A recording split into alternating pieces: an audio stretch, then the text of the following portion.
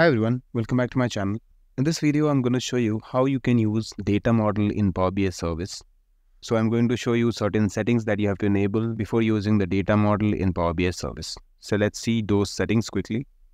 As you can see on my screen, I'm in my project workspace. So if I go to any report, let's say Superstore Analysis Dashboard.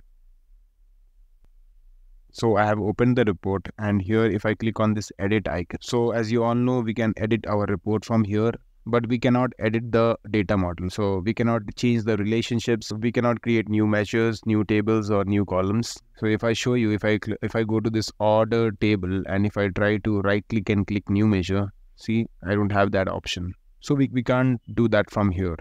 So that's why we have this open data model option. So from this open data model, it opens the data model and from there you can change the relationships, create new calculated tables, measures and columns. But this is grayed out for me and if you have not used it earlier, it will be grayed out for you as well. So it is saying ask your workspace admin to turn on this setting. Users can edit the data model in Power BI. So let's go to the admin portal and change the settings. So I will go back to the workspace and here uh, I'm going to click on this settings gear icon. And I will go down and go to the admin portal. And in the tenant settings here filter by keyword you can search for uh, edit data model. So here I have got this option and it's saying data model settings uh, users can edit data model in Power BI service and it is enabled for me. But still I'm not able to open the data model in Power BI. So this is one of the two settings that you have to enable. So if it is not enabled for you, you can enable this from here. Next, if I come to this my project workspace, in here you can see this workspace settings.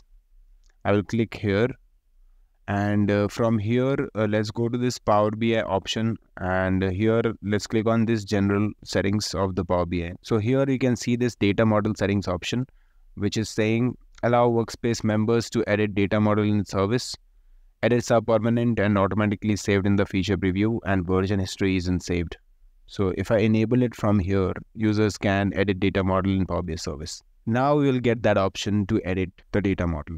So there is one point to be noted whatever you change in the data model in the Power BI service, it will be automatically saved and uh, you cannot undo the action. So before using the data model in Power BI service, you'll have to keep this in mind.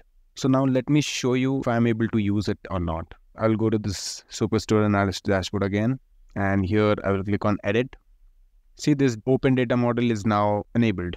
So if I click on this open data model, so it will give you the modeling view and you can do certain changes. Maybe i will try to create a measure from here. So i'll go to this orders. Let's say i'm going to create the profit measure. So i will right click and click on new measure.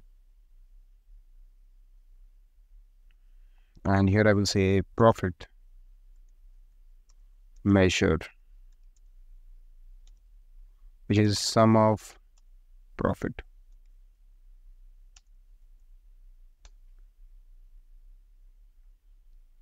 See, this profit measure is created automatically and it is saved.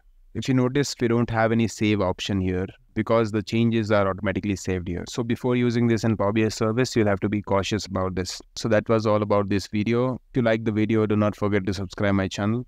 Till then, goodbye and thanks for watching.